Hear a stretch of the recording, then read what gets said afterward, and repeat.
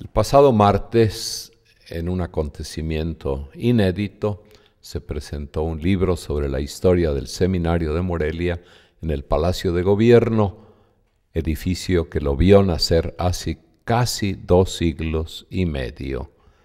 La providencia de Dios nos ha ido llevando por caminos misteriosos, pero llenos de amor y sabiduría.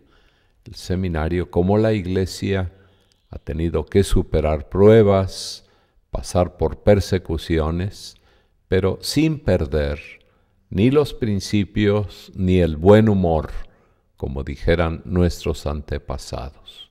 Hoy el seminario debe forjar a los futuros sacerdotes de corazón limpio, recio, pero alegre en la austeridad y tratando de servir al mundo más que con medios y recursos humanos, con el testimonio fuerte de una vida limpia, con sabiduría y sobre todo con gozo, con el entusiasmo de un auténtico evangelizador.